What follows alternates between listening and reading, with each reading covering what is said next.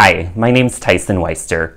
If you're looking for an easy way to access and visualize Census Bureau data for your community, I recommend that you check out data.census.gov and look at our data visualization profiles.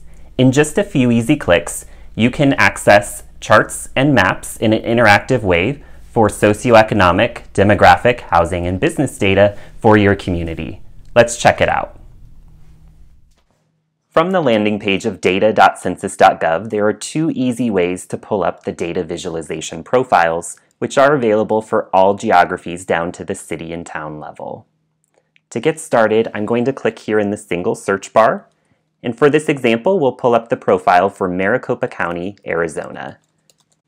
Typing in Maricopa County, the easiest way is to click that first result in bold, Maricopa County, Arizona profile, if you happen to run the search or access the profiles through a different method, from the All Results page, the other easy way to access the profile on the right-hand side is to click Maricopa County, Arizona profile under Explore Data.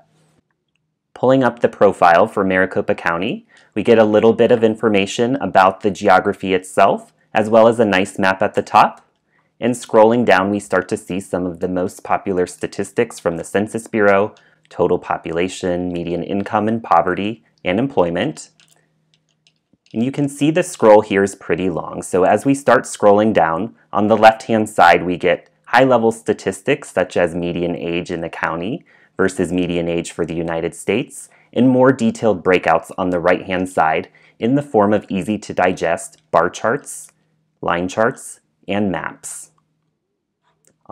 On the left-hand side, if you see something that's of particular interest to you, for example, health, we can click to that section and it jumps us to that particular part of the profile for us to get a quick look at that statistic.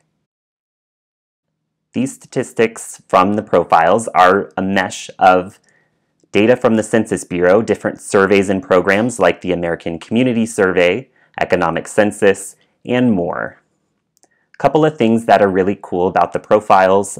One of the things is share and export if you see a particular visualization or map that you'd like to return to later. Once we click share and export, we get a link to bring us back to that exact visualization, or export if we'd like the iframe to embed it on our website.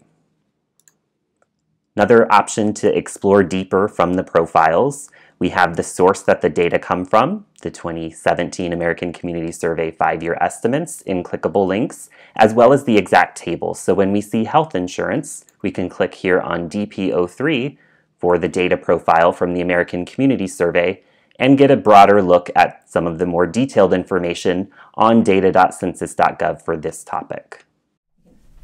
This is my favorite place to get started on data.census.gov. For more videos like this, please visit census.gov/academy and subscribe. Thank you.